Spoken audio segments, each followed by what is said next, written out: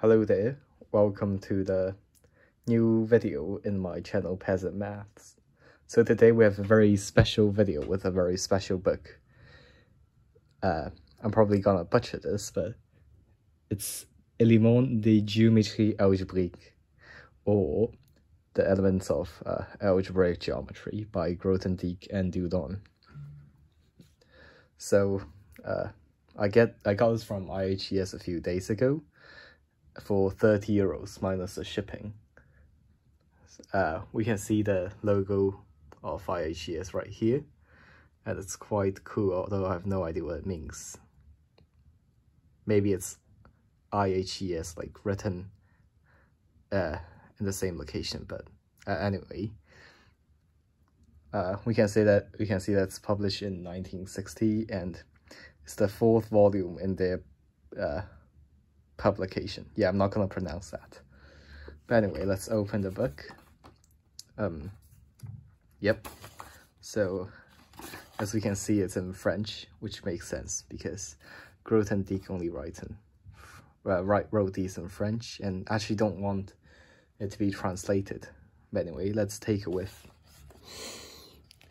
Yeah, it smells, it doesn't smells like new book uh, which makes sense because it's, public, it's published in 1960 and probably printed a few years ago. Uh, yeah, so obviously it's on algebraic geometry, although it's the first volume, so the language of schemes. I'm not gonna pretend to like review this book, uh, at least not its content since I don't know algebraic geometry and I don't know the prerequisites. Uh, so why did I buy this book? Well, I want to make a video of me holding it probably like 10 years later, saying I finally understood this book. Uh, as a note, uh, people say that French isn't actually a problem with this book, uh, since we can see that it's very similar to English and uh, those words that we don't know can, we can uh, just remember or something.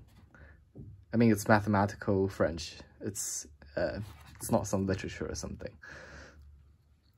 So anyway, uh, this book is actually kind of rare on the internet, and I understand why because, well, nobody reads the EGA, and those who read it will just download it online. But I bought this because, well, uh, Grothendieck is quite legendary and I wanted to make this video. And another video probably 10 years in the future like I just mentioned.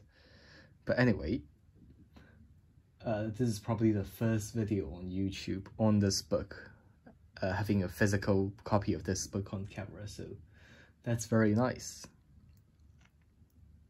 I should stop rambling and yeah. Bye guys.